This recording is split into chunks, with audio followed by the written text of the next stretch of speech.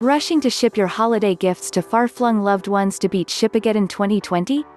No pressure, but the shipments of coronavirus vaccines may make deliveries even slower than you thought.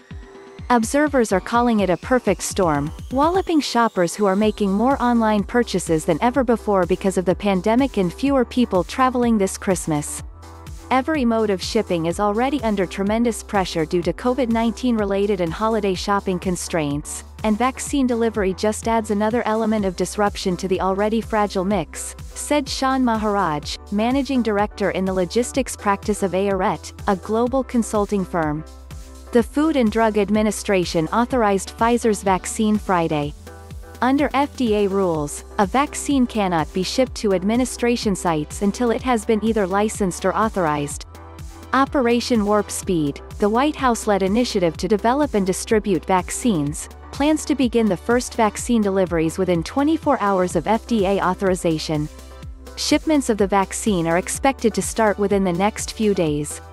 Aaron Terrazas, Director of Economic Research for Convoy, told USA Today that the timing of the first wave of vaccine distribution complicates holiday shipments and makes matters more complicated, particularly since the major vaccine distribution contractors are also major parcel delivery firms. These distribution contractors are having to simultaneously grapple with a record e-commerce holiday season and this once in a lifetime national emergency, Terrazas said. Convoy utilizes technology to make the trucking industry more efficient. Despite retailers urging shoppers to shop early and rolling out the season's sales earlier than in past years, shoppers are still clicking add to cart.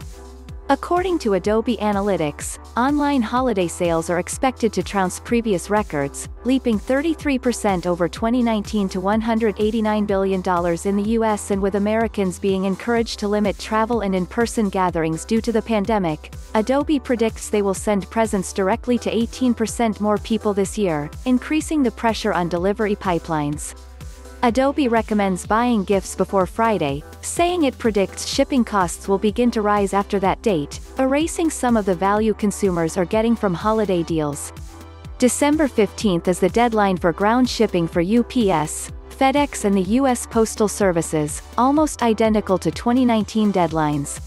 Naveen Jaggi, president of Retail Advisory Services at brokerage firm JLL, said difficulties with supply chains and logistics with volumes are expected. If online orders are not in before mid-December, then we can expect orders will not be delivered in time for the holidays, Jaggi said, adding more shoppers are expected to use curbside pickup and buy online pickup in store options more than ever before this year.